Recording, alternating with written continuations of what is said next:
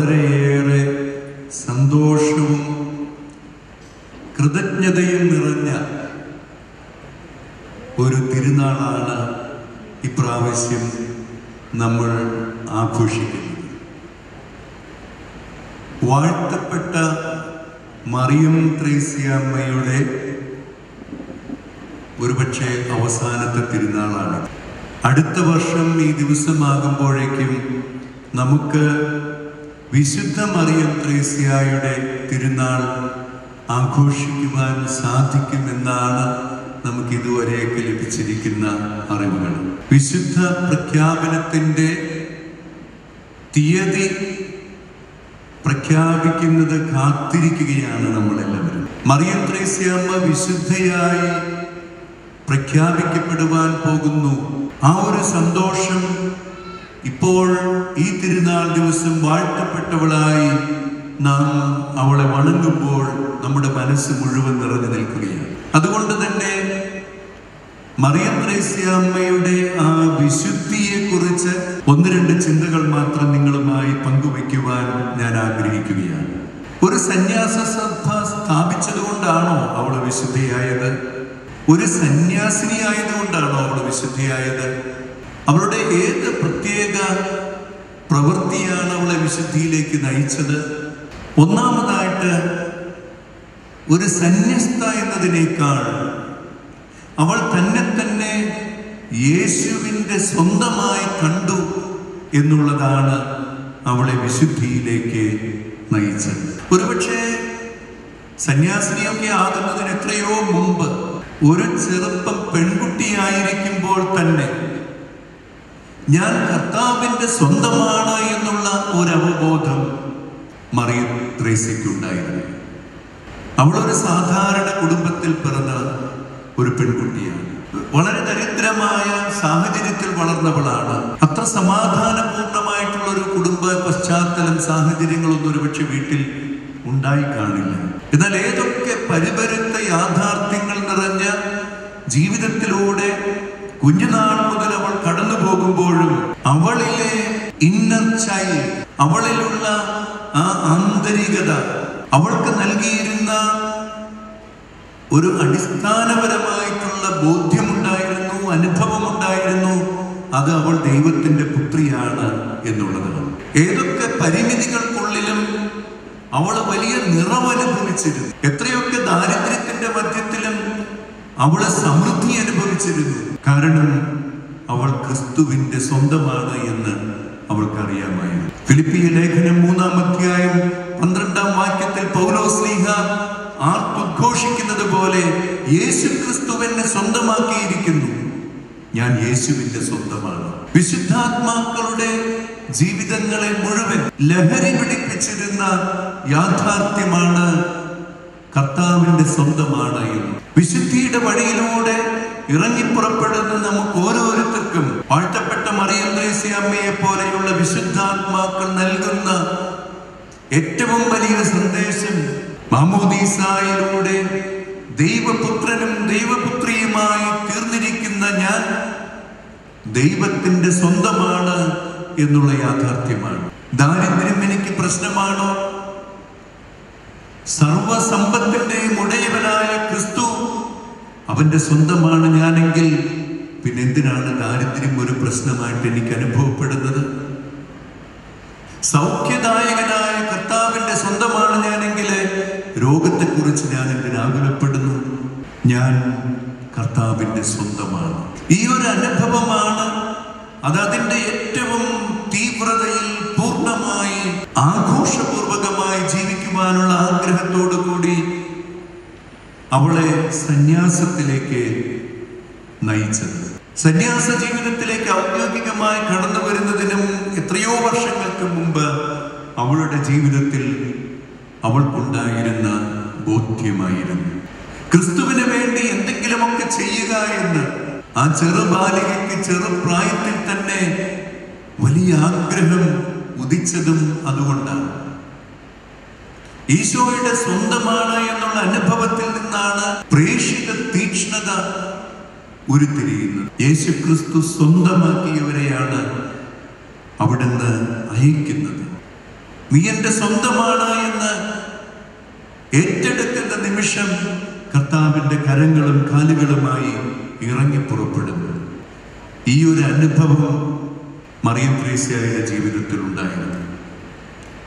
അന്നത്തെ കാലഘട്ടത്തിൽ അന്നത്തെ സാമൂഹിക പശ്ചാത്തലത്തിൽ ചിന്തിക്കുവാൻ പോലും സാധിക്കാത്ത വിധത്തിൽ ഈ പുത്തൻചിറയിലും പ്രദേശത്തുമുള്ള കുടുംബങ്ങളിലേക്ക് കടന്നു ചെല്ലുവാൻ ഒരു യുവതിക്ക് സാധിച്ചത് അതുകൊണ്ടാണ്. യേശുവിന്റെ സ്നേഹം എവിടെയൊക്കെ പങ്കുവെക്കാമോ അവിടെയെല്ലാം പങ്കുവെക്കുന്നതിന് വേണ്ടി അവൾ ഇറങ്ങി പുറപ്പെടുകയാണ്. രണ്ടാമതായിട്ട് വിശുദ്ധിയിലേക്ക് വിളിക്കപ്പെടുന്ന എല്ലാവർക്കും ഉണ്ടാകുന്ന വലിയൊരു ബോധ്യമാണ് ഞാൻ പാപിയാണ് എന്നുള്ളത്. ചെറുപ്പം മുതൽ തന്നെ തന്റെ കുറവുകളെക്കുറിച്ചും ബലഹീനതകളെക്കുറിച്ചും എളിമയോടുകൂടെ ചിന്തിക്കുകയും നോക്കിക്കാണുകയും ഏറ്റുപറയുകയും ചെയ്യുന്ന ഒരു മറിയം ത്രേസ്യമ്മയെ മറിയം ത്രേസ്യയെ നമ്മൾ കാണുന്നുണ്ട്. അന്നത്തെ കാലഘട്ടത്തിൽ ഒരിക്കലും സ്വീകാര്യമല്ലാത്ത വിധത്തിൽ വീട്ടിൽ നിന്ന് പുറത്തിറങ്ങി മറ്റു കുടുംബങ്ങൾ കയറി ഇറങ്ങി ഒക്കെ നടക്കുന്ന ത്രേസിയെ കുറിച്ച് ഒത്തിരിയേറെ പരാതികൾ ഉണ്ടാകി അവൾക്ക് മാനസികമായിട്ടുള്ള സ്ഥിരതയില്ലെന്ന് പോലും പലരും സംശയിച്ചു. അന്നത്തെ കാലഘട്ടത്തിൽ എങ്ങനെയാണ് ഇത് സ്വീകരിക്കുവാൻ സാധിക്കുക? മനസ്സിന്റെ സ്ഥിരത നഷ്ടപ്പെട്ട കുട്ടിയായിരിക്കും. മിക്കതും ആ കുട്ടിക്ക് മാനസികം അല്ലെങ്കിൽ പിശാജ് ബാധിച്ചിട്ടുണ്ടാകും. മെത്രാനച്ചൻ ഒരു പ്രാർത്ഥന എഴുതി കൊടുത്തു. അവൾ താമസിക്കുന്ന ഈ മുറിയിൽ ഒട്ടിച്ചു വയ്ക്കാൻ പറഞ്ഞു. പിശാചിനെ പുറത്തു വിടാനാണ്.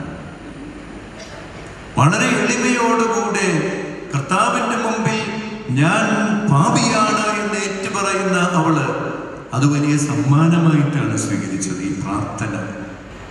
തങ്ങളുടെ നിസ്സാരതയെ ഏറ്റുപറഞ്ഞിട്ടുള്ളവരാണ് വിശുദ്ധര്. മറ്റുള്ളവരുടെ പരാതികളും അപവാദങ്ങളും കുറ്റാരോപണവും ഒന്നും വിശുദ്ധരുടെ ജീവിതത്തെ കാര്യമായി ബാധിച്ചിട്ടില്ല. കാരണം ദൈവത്തിരുസന്നിധിയിൽ നിസ്സാരനും ബലഹീനനുമാണ് എന്ന് ഏറ്റുപറയുന്നവർക്ക് ഇവയെല്ലാം ഏറ്റെടുക്കുവാൻ വലിയ ബുദ്ധിമുട്ടില്ല. ദൈവത്തിന്റെ പരിശുദ്ധി അനുഭവിച്ചറിയുന്ന നമ്മുടെയൊക്കെ ജീവിതത്തിൽ നമ്മുടെ നിസ്സാരതയെ കുറിച്ചുള്ള ശരിയായ അവബോധത്തിലേക്ക് കടന്നു വരുവാൻ ഈ വിശുദ്ധാത്മാവ് നമ്മെ വെല്ലുവിളിക്കുകയാണ്. നമ്മിലുള്ള ഈഗോ എന്തുമാത്രം വളർന്ന് അങ്ങനെ രൂഢമൂലമായിരിക്കുന്നു എന്നുള്ളത് നമുക്ക് തിരിച്ചറിയാം. അപ്പോൾ ഇല്ലാത്തത് കേൾക്കുമ്പോഴോ അപവാദങ്ങൾ ത്രേസിയുടെ മനോഭാവം നമുക്ക് ഉൾക്കൊള്ളാം. മൂന്നാമതായിട്ട് മറിയം ത്രേസ്യാമ്മ ഈ വിശുദ്ധി ജീവിച്ചത് കുടുംബ പ്രേക്ഷിതത്വത്തിലൂടെയായിരുന്നു എന്ന് നമുക്കെല്ലാവർക്കും അറിയാം. അവൾ സമർപ്പിത ജീവിതത്തിലേക്ക് കടന്നു വന്നത് ആവൃത്തിക്കുള്ളിൽ അടച്ചിട്ടിട്ടുള്ള ജീവിതകാലം മുഴുവൻ അതിനകത്തായിരിക്കുന്ന ഒരു ജീവിതത്തിനൊന്നും ആയിരുന്നില്ല. വാസ്തവത്തിൽ അവൾ മഠത്തിൽ ചേരുന്നതിന് എത്രയോ മുമ്പ് അവളുടെ സന്യാസത്തിന്റെ ആ ശൈലി അവളുടെ ജീവിതത്തിലൂടെ ദൈവം വെളിപ്പെടുത്തി കൊടുത്തിട്ടുണ്ടായിരുന്നു. യേശു ക്രിസ്തുവിന്റെ കരങ്ങളും കാലുകളും അധരങ്ങളുമായി കുടുംബങ്ങളിലേക്ക് ഇറങ്ങി ചെല്ലുവാൻ അവരോടൊപ്പമായിരിക്കുവാൻ അവരുടെ വേദനകളിലും അവിടെ അവരുടെ നെടുവേർപ്പുകളിലും അവരോടൊപ്പമായിരിക്കുവാനുള്ള ഒരു വിളി അതിലൂടെ വിശുദ്ധിയിലേക്ക് വിശുദ്ധിയിൽ വളരുവാൻ കർത്താവ് അവളെ വിളിച്ചു. കുടുംബ പ്രേക്ഷകത്വം ഈ അമ്മ അവളുടെ ജീവിതത്തിലൂടെ നമുക്ക് കാണിച്ചു തന്നു. അത് ഈ സന്യാസ സഭയുടെ തിരുക്കുടുംബ സന്യാസിനി സഭയുടെ ചൈതന്യമായിട്ട് പകർന്നു കൊടുക്കുകയും ചെയ്തു. കുടുംബങ്ങളിലെ വഴക്കുകൾ തീർക്കാനായിട്ട് എട്ടും പൊട്ടും തിരിയാത്ത ഒരു പെൺകുട്ടി ഇറങ്ങി പുറപ്പെടുക. അന്നത്തെ കാലഘട്ടത്തിൽ ഒരിക്കലും ചിന്തിക്കാൻ സാധിക്കാത്ത ഒരു കാര്യത്തിന് ഒരു ചെറുപ്പക്കാരി പെൺകുട്ടി ഇറങ്ങി പുറപ്പെടുകയാണ്. രാവും പകലും നോക്കാതെ പാവപ്പെട്ടവരുടെ ഇടയിലേക്ക് വസൂരി ബാധിച്ചവരുടെ ഇടയിലേക്ക് കുടുംബ വഴക്കുകളുള്ളവരുടെ ഇടയിലേക്ക് വഴക്കുകൾ തീർക്കാൻ ഒക്കെ ഇറങ്ങി പുറപ്പെടുന്നത്.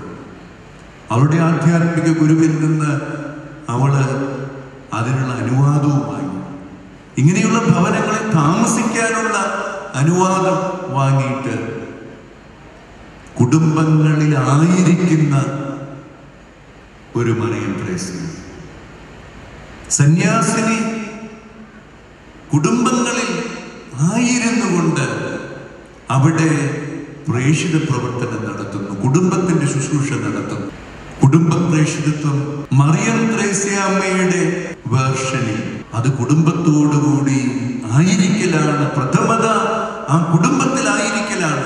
ആയിരുന്നു കൊണ്ട് ഒപ്പം നടന്നുകൊണ്ട് കർത്താവിന് വഴിയൊരുക്കലാണ്. ആ കുടുംബത്തോടൊപ്പമായിരുന്ന് ആ കുടുംബാംഗങ്ങളോടൊപ്പം യേശുവിനെ ഭവനത്തിലേക്ക് സ്വീകരിക്കലാണ്. ത്രേസ്യയുടെ ജീവിതം അങ്ങനെയുള്ള ഒരു ജീവിതമായിരുന്നു. പരിശുദ്ധ പിതാവ് ഫ്രാൻസിസ് മാർപ്പാപ്പ കുടുംബ പ്രേക്ഷകത്വത്തെ കുറിച്ച് പ്രത്യേകിച്ച് അതിന്റെ അജപാലന വശങ്ങളെ കുറിച്ച് എത്രയോ മനോഹരമായിട്ട് തന്റെ പ്രബോധനങ്ങളിലൂടെ നമ്മോട് സംസാരിച്ചിരിക്കുന്നു. പരിശുദ്ധ പിതാവ് ഏറ്റവും കൂടുതൽ സംസാരിക്കുന്നത് സഹഗമനത്തെ കുറിച്ചാണ് കുടുംബത്തോടൊപ്പം നടക്കുക. ഒപ്പമായിരുന്നാൽ മാത്രമേ ഒപ്പം നടക്കാനായിട്ട് സാധിക്കുകയുള്ളൂ. അത് ഏറ്റവും വിശുദ്ധരായിട്ടുള്ള കുടുംബങ്ങളുടെ കൂടെ നടക്കുന്ന കാര്യമാണ്. കുറവുകളുള്ള ബലഹീനതകളുള്ള ഒരുപക്ഷെ ക്രിസ്തീയമായിട്ട് നമുക്ക് സ്വീകരിക്കാൻ സാധിക്കാത്ത ബന്ധങ്ങളിൽ അകപ്പെട്ടു പോയിരിക്കുന്ന പാപത്തിൽ ജീവിക്കുന്ന കുടുംബങ്ങളിൽ പോലും അവരോടൊപ്പമായിരുന്ന് അവരുടെ ബലഹീനതകളിൽ അവരോടൊപ്പം നടന്ന് ക്ഷമയോടുകൂടെ കാത്തിരുന്ന് അവർക്ക് ശുശ്രൂഷ ചെയ്യുന്ന ഒരു കുടുംബ പ്രേക്ഷിതത്വത്തെ കുറിച്ചാണ് ഫ്രാൻസിസ് മാർപ്പാപ്പ പ്രത്യേകിച്ച് മമോരീസ് ലിത്തീസിയിൽ നമ്മോട് പറയുന്നത്. ഒത്തിരി ഒത്തിരി ആശയക്കുഴപ്പങ്ങൾ സൃഷ്ടിച്ച ചില വാക്യങ്ങൾ അതിനകത്തുണ്ട്. ഇങ്ങനെ കുടുംബങ്ങളുടെ കൂടെ നടക്കുമ്പോൾ നമ്മൾ അവരെ അംഗീകരിക്കുകയല്ലേ?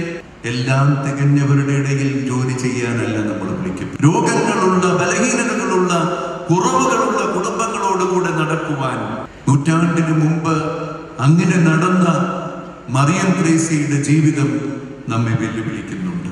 ഇന്ന് നമ്മുടെ ചുറ്റുവട്ടത്ത് നമ്മുടെ അയൽവസ് അയൽവക്കത്ത് നമ്മുടെ ഈ നാട്ടിൽ വിവാഹത്തെ വളരെ ലളിതവൽക്കരിച്ചുകൊണ്ട് വളരെ വികലമായ കുടുംബജീവിതത്തെക്കുറിച്ചുള്ള കാഴ്ചപ്പാടുകളുമായി ജീവിക്കുന്ന ഒരു സംസ്കാരം ദ്രുതഗതിയിൽ വളർന്നു വരുമ്പോൾ കുടുംബ പ്രേക്ഷിതത്വം വളരെ വലിയ വെല്ലുവിളി ഇന്ന് നമ്മുടെ മുമ്പിൽ ഉയർത്തുന്നുണ്ട്.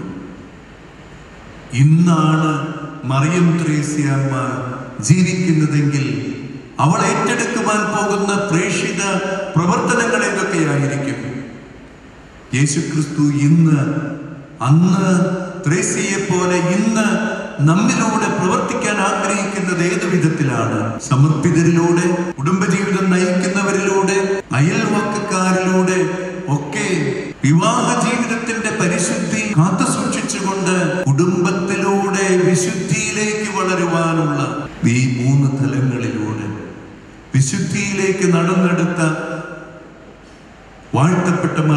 ത്രേസ്യാമ്മയെ നമുക്ക് മാതൃകയായി സ്വീകരിക്കാം. ദൈവത്തിന്റെ സ്വന്തമായി അവിടുത്തെ കരങ്ങളും കാലുകളുമായി സ്വന്തം നിസ്സാരത തിരിച്ചറിഞ്ഞ് ദൈവസന്നിധിയിൽ നമ്മെ തന്നെ എളിമയോടുകൂടി സമർപ്പിച്ച് അവിടുന്ന് ആഗ്രഹിക്കുന്നത് പോലെ കുടുംബങ്ങളിലേക്ക് ഇറങ്ങി ചെല്ലുവാൻ ദൈവം നമ്മളെല്ലാവരെയും അനുഗ്രഹിക്കട്ടെ. പിതാവിന്റെയും പുത്രന്റെയും പരിശുദ്ധാത്മാവിന്റെയും നാമത്തിൽ